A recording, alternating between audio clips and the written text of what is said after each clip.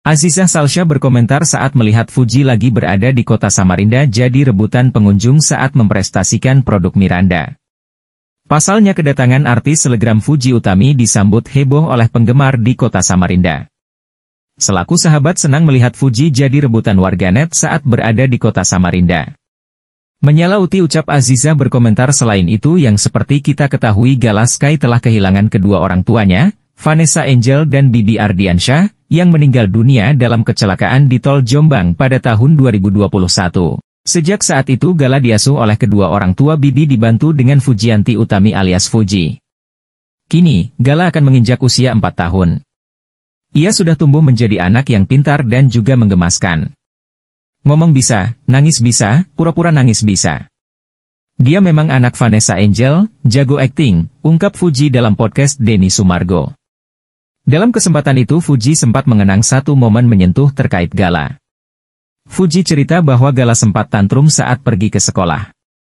Sebagai anak, Gala merasakan kerinduan kepada kedua orang tuanya. Gala rupanya juga iri melihat teman-temannya yang bisa diantar ke sekolah oleh kedua orang tuanya. Sementara Gala hanya diantar oleh sang nenek ataupun Fuji. Waktu itu pergi sekolah, dia nanya, kok yang lain teman-teman Gala diantarnya sama mama papa, Gala enggak ada. Itu dia ngomong ke mama dan mama telepon aku sambil nangis, ujar Fuji.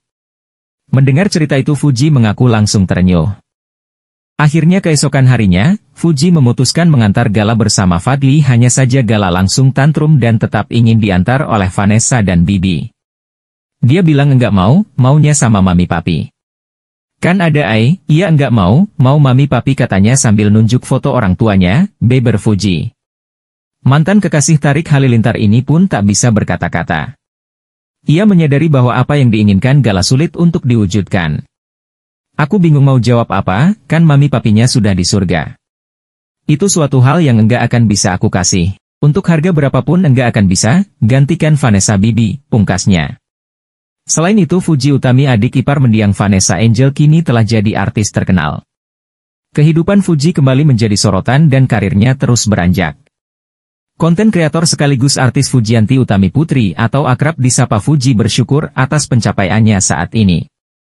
Sejak menjadi terkenal, Fuji mengaku mendapat sejumlah privilegi atau hak keistimewaan kehidupannya selalu berkecukupan. Ya banyak banget privileginya, kata Fuji dikutip dari YouTube Denny Sumargo, Rabu, 1 April 2024. Kendati demikian, bagi Fuji ada hal yang harus dikorbankan menjadi publik figur. Fuji mengatakan, sejak menjadi terkenal kehidupannya sudah tidak ada lagi privasi.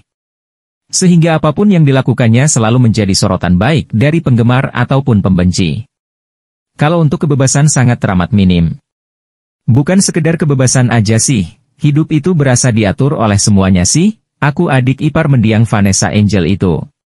Paling banyak fans, mungkin fans atau haters kita nggak tahu, mengkikat dan mencekik aku, lanjutnya. Oleh karena itu, Fuji mengaku terkadang suka menegur akun-akun Instagram fanbase. Bahkan, ia tak segan untuk memblokir.